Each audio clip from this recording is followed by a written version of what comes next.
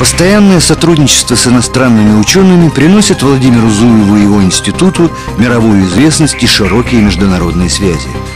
Трудно поверить, но еще в 1969 году в областной газете Владимир Евсеевич пишет о целесообразности стажировок и обмена опытом между томскими и американскими учеными и студентами. А в 90-м ему и вовсе удается сделать невозможное. Сегодня мировую славу Томску приносят его ученые – Симпозиум проводит Институт оптики атмосферы. Его открывает член-корреспондент Академии наук Владимир Евсеевич Зуев. В хронике того времени забыли сказать лишь об одном. Международная конференция проходит в закрытом городе. Томск для иностранцев официально откроют лишь год спустя. Для Зуева тогда сделали исключение – так, благодаря настоятельной инициативе Владимира Евсеевича, наш город был открыт для мировой науки. В то время в газетных передовицах академику Владимиру Зуеву давали следующее определение – «единый во множествах». Его жизненный график почти не имел свободных окон – директор института, руководитель Академгородка, член обкома партии, главный редактор журнала, член международных обществ и ассоциаций, депутат Верховного Совета. Поверьте, это далеко не полный список его обязанностей. Вот эта разносторонность его деятельности и умение в каждой сфере деятельности творчески работать. Вот это, знаете, это талант, это просто природный талант. Вот. Поэтому такие личности уникальные, э, они и входят в историю. Ведь он э, вот, э, значит, научные статьи писал в самолетах при командировочных перелетах. Вот. Мы, вот, собираясь без него, там, так сказать, между собой обсуждали, ну как это можно? Понятно, что при таком ритме жизни, когда и на науку не оставалось времени, Владимир Зуев не так много времени, как хотел бы, уделял и своей семье. А ведь у него было трое детей и свой генерал. Именно так Владимир Евсеевич называл свою жену Нину Ивановну. Как приедем в Москву, он никогда, Большой театр билет приобретем, он опять звонит. Мать и э, кого-нибудь ищи. Я у Кирпичникова я у такого-то, я у другого-то. А, вот так вот и всю жизнь он как-то был не для себя. Он жил-то не для себя, это даже не для семьи.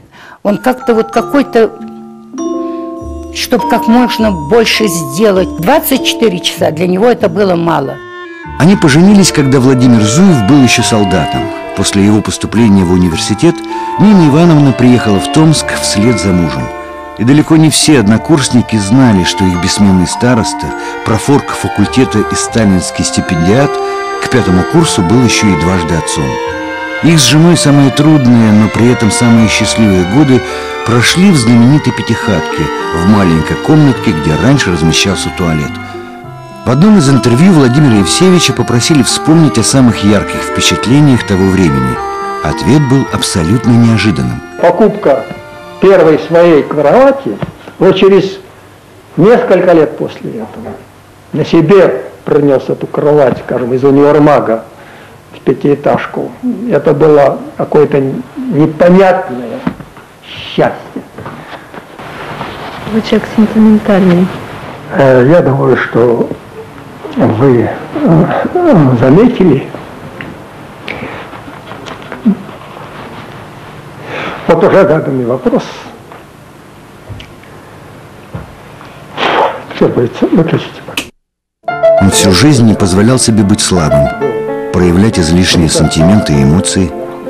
Но это вовсе не значит, что этих эмоций он не переживал.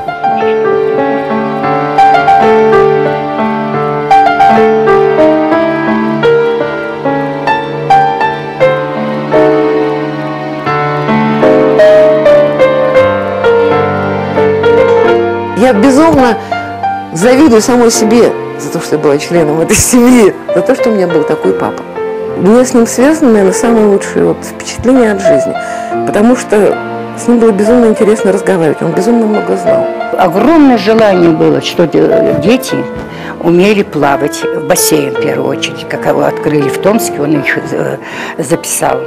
Потом купил пианино, чтобы они понимали музыку. Будут играть, не будут, но музыку... э, Он сам хорошо играл на гитаре и на мандолине.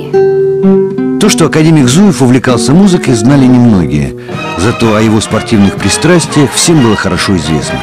В его расписании даже были так называемые ходовые дни, когда количество выполненных упражнений равнялось количеству прожитых лет. Я вспоминаю э, э, впечатление Пронягина. Он тоже был э, делегатом э, нашей партийной организации на съездах. Вот он когда возвращался и говорит, Владимир Евсеевич утром поднимается в 6 утра и бегает вокруг гостиницы «Россия». Он же тут э, всех руководителей заставлял э, бегать на лыжах. Это э, обязательно так. Вот. Или э, когда зимы нет, кроссы всякие придумывал.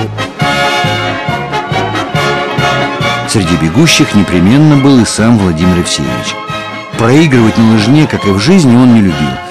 Поэтому, когда однажды его обошел член-корреспондент Большаков, разгорелся нешуточный спор о том, кто меньше срезал на поворотах. Во второй половине 90-х Владимир Евсеевич Зуев был вынужден сойти с дистанции не спортивного, а директорского забега. По уставу Российской Академии Наук руководители институтов и научных центров, достигшие 70 лет, должны покинуть свои посты. Когда человек вот э, после такого взлета и уровня, масштаба, э, потом э, по возрасту должен освободить свое место. Вот, э, это болезненная реакция. Ну, вот последние годы, конечно, для него были психологически очень непростыми. И спасибо за толку никто не сказал. Не, ну, наверное, многие сказали, но, наверное, многие, от кого он ждал, не сказали. Это были годы перестройки, когда менялись не только государственные, но и человеческие приоритеты. Зуев не принял это новое время, а время не приняло его. Если это будет продолжаться долго, то фундаментальная наука, по крайней мере экспериментальная, помрет. Наука так себе, а деньги – это безумно важно. Я думаю, что это его очень сильно травмировало. Он этого понять не мог. И мне кажется, что он даже ушел. Вот так вот отгородил от себя и ушел вот, в болезнь, только чтобы не видеть этого. Вот я не знаю, может, я ошибаюсь. Свою последнюю книгу о истории создания академической науки в Томске академик Зуев посвятил не соратникам, не ученикам, а своей жене, детям и внукам. В последние годы его жизни, пожалуй, только они и были рядом с ним. Звонили и навещали Владимира Евсеевича немногие. Кому-то мешали старые обиды, кто-то не сошелся характером с его женой, а кто-то просто был занят своей жизнью.